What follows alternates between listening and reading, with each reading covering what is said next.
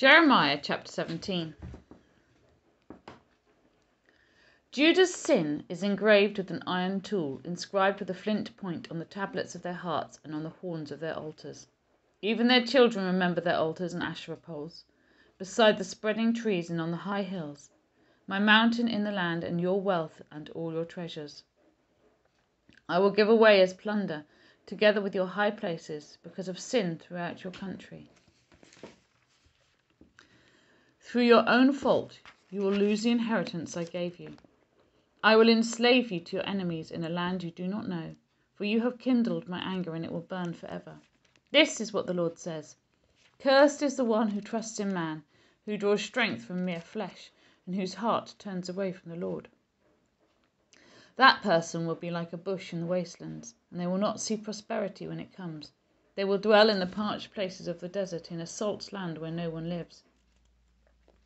But blessed is the one who trusts in the Lord, whose confidence is in him. They will be like a tree planted by the water that sends out its roots by the stream. It does not fear when heat comes. Its leaves are always green. It has no worries in a year of drought and never fails to bear fruit. The heart is deceitful above all things and beyond cure. Who can understand it? I, the Lord, search the heart and examine the mind to reward each person according to their conduct according to what their deeds deserve. Like a partridge that hatches eggs it did not lay. Are those who gain riches by unjust means? Sorry, I'll read that sentence again. Like a partridge that hatches eggs it did not lay, are those who gain riches by unjust means. When their lives are half gone, their riches will desert them, and in the end they will prove to be fools. A glorious throne, exalted from the beginning, is the place of our sanctuary. Lord, you are the hope of Israel. All who forsake you will be put to shame. Those who turn away from you will be written in the dust, because they have forsaken the Lord, the spring of living water. Heal me, Lord, and I shall be healed. Save me, and I shall be saved. For you are the one I praise. They keep saying to me, Where is the word of the Lord? Let it now be fulfilled. I have not run away from being your shepherd. You know I have not desired the day of despair. What passes my lips is open before you. Do not be a terror to me. You are the refuge. You are my refuge in the day of disaster. Let my persecutors be put to shame, but keep me from shame. Let them be terrified, but keep me from terror. Bring on them the day of disaster. Destroy them with double destruction. This is what the Lord said to me Go and stand at the gate of the people, through which the kings of Judah go in and out. Stand also at the other gates of Jerusalem, and say to them, Hear the word of the Lord, you kings of Judah, and all people of Judah, and everyone living in Jerusalem who come through these gates.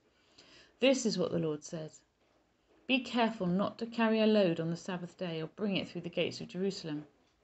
Do not bring a load out of your houses, or do not work on the Sabbath, but keep the Sabbath day holy as I commanded your ancestors.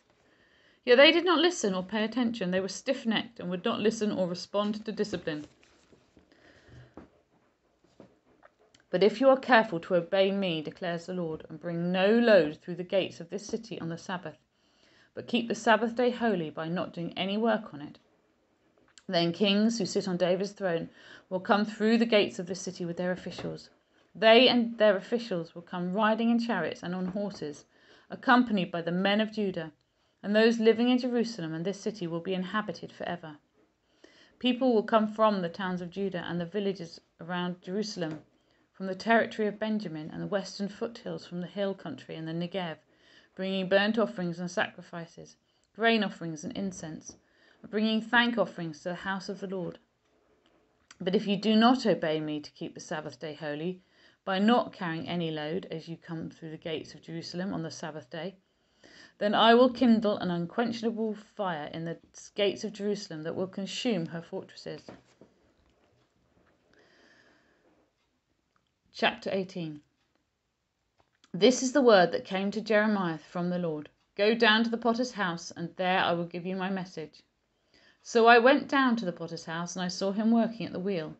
But the pot he was shaping from the clay was marred in his hand, so the potter formed it into another pot, shaping it as it seemed best to him. Then the word of the Lord came to me. He said, Can I not do with you, Israel, as this potter does, declares the Lord? Like clay in the hand of the potter, so are you in my hand, Israel. If at any time I announce that a nation or kingdom is to be uprooted, torn down, and destroyed, and if that nation I warned repents of its evil, then I will relent and not inflict on it the disaster I have planned.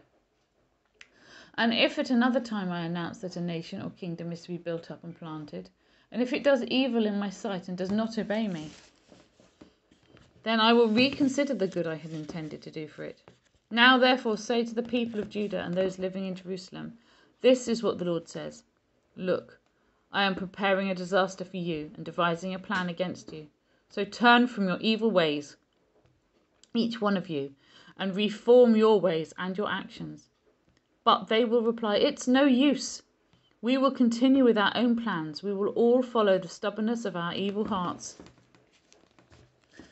Therefore, this is what the Lord says Inquire among the nations who has ever heard anything like this a most horrible thing has been done by virgin Israel.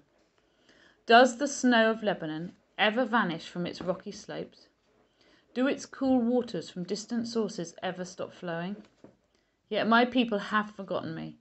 They burn incense to worthless idols, which made them stumble in their ways, in the ancient paths. They made them walk in byways on roads not built up. Their land will be an object of horror and of lasting scorn. All who pass by will be appalled, and will shake their heads like a wind from the east. I will scatter before them, I will scatter them before their enemies.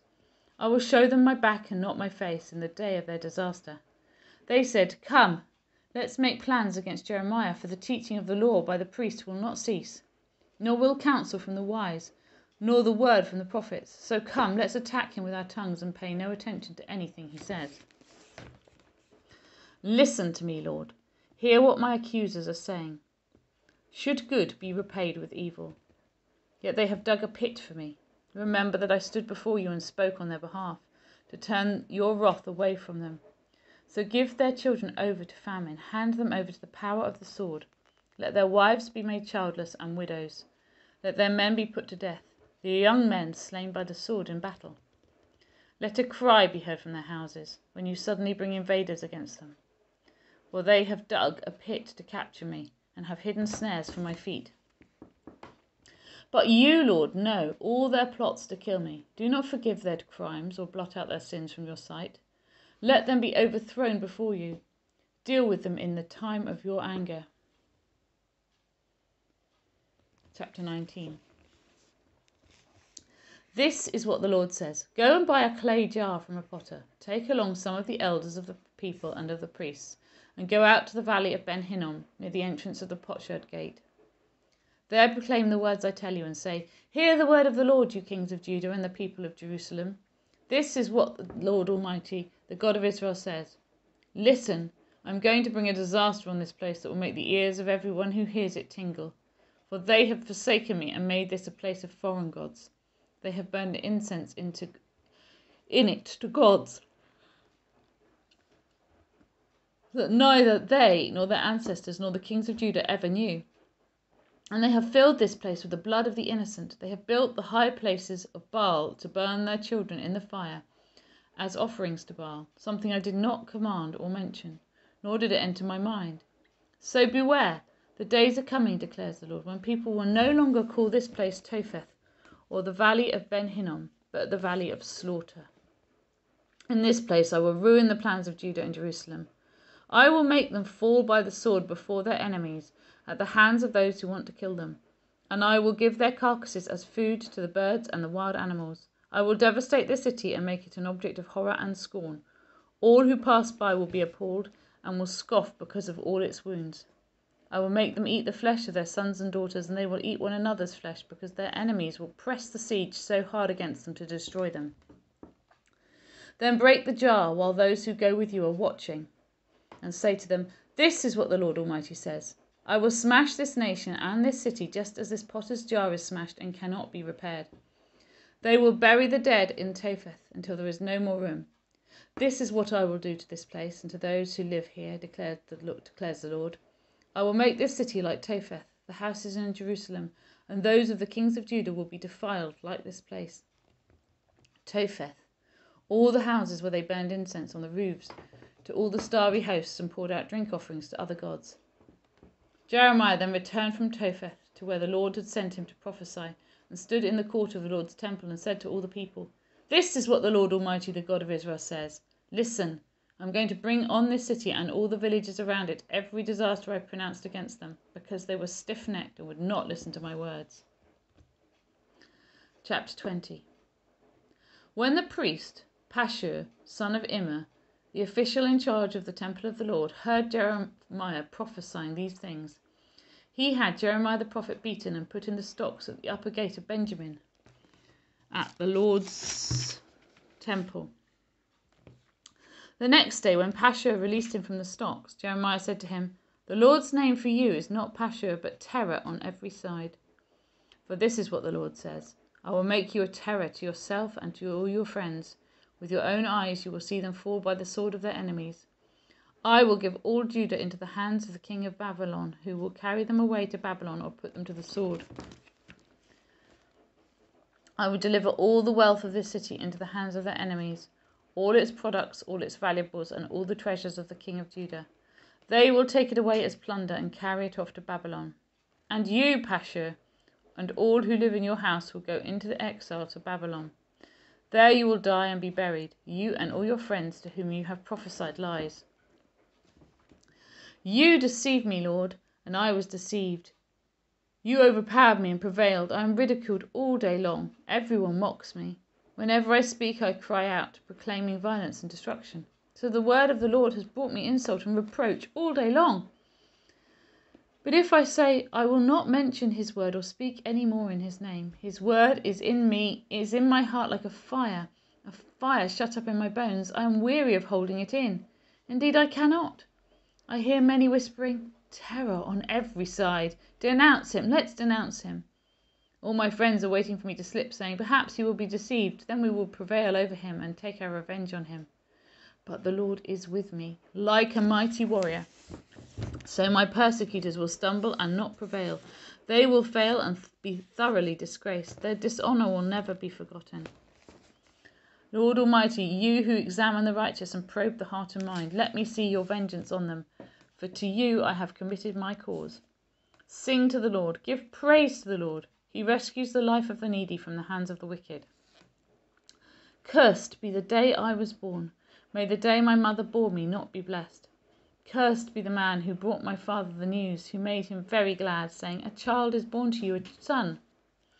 May that man be like the towns the Lord overthrew without pity. May he hear wailing in the morning, a battle cry at noon, for he did not kill me in the womb, with my mother as my grave. Her womb enlarged forever.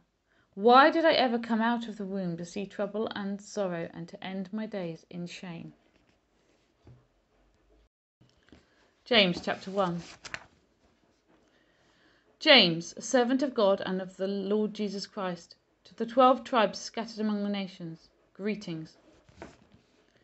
Consider it pure joy, my brothers and sisters, whenever you face trials of many kinds, because you know that the testing of your faith produces perseverance. Let perseverance finish its work, so that you may be mature and complete, not lacking anything.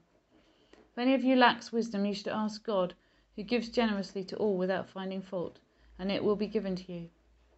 But when you ask, you must believe and not doubt, because the one who doubts is like a wave of the sea, blown and tossed by the wind. That person should not expect to receive anything from the Lord. Such a person is double minded and unstable in all they do. Believers in humble circumstances ought to take pride in their high position, but the rich should take pride in their humiliation, since they will pass away like a wild flower. For the sun rises with scorching heat and withers the plant, its blossom falls and its beauty is destroyed. In the same way, the rich will fade even while they go about their business. Blessed is the one who perseveres under trial, because, having stood the test, that person will receive the crown of life that the Lord has promised to those who love him. When tempted, no one should say, God is tempting me. For God cannot be tempted by evil, nor does he tempt anyone.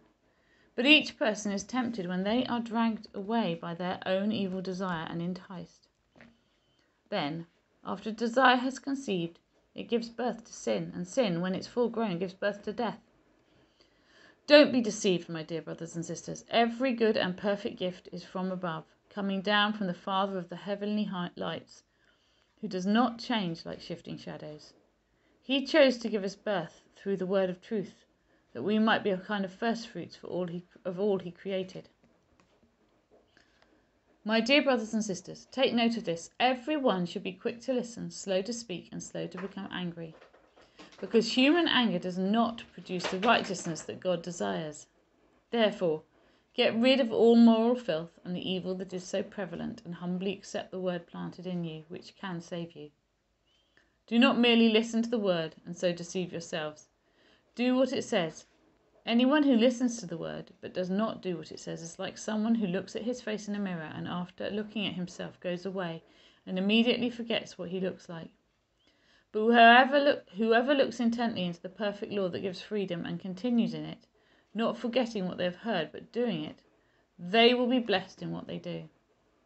Those who consider themselves religious and yet do not keep a tight rein on their tongues deceive themselves and their religion is worthless.